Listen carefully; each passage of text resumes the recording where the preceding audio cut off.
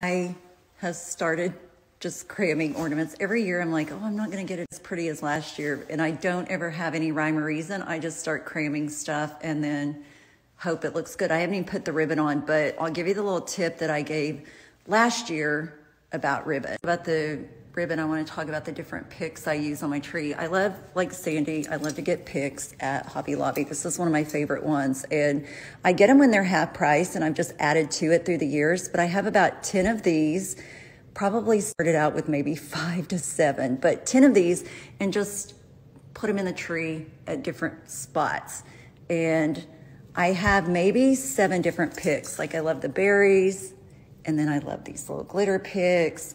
I have a few of these green ones just to add color to the frosted tree. So, picks. Get you some picks. Step one is fluff the tree. Step two is get your lights right. Step three is add the picks. Step four is start working in the ornaments. And I start with my bigger ornaments and space those out in different spots and then I come back with the smaller ornaments. Then I step back and take a look and I see where the holes are and I start coming back and filling in with the smaller ornaments where the holes are. I am a retired school teacher. I'm not a Christmas tree decorator. I told you I have no rhyme or reason. I just start craving stuff until I get it the way I want it to look. So this is not a professional decorator's guide. This is the way Shalia decorates a tree. But so you don't waste ribbon, cut small strips. I like to use two different colors, like a shinier one and then I'm a neutral person, so I love this black and white.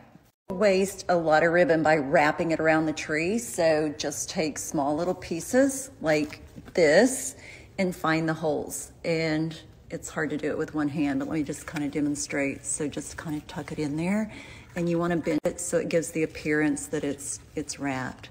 But I mean, this is terrible with one hand, but that's what I'm talking about. My ornaments are from Walmart or Hobby Lobby, and then the ribbon too. Walmart has a really pretty ribbon this year. This is from, I think, Hobby Lobby last year, but the get the one that has the wire edge because it makes it easier to work with.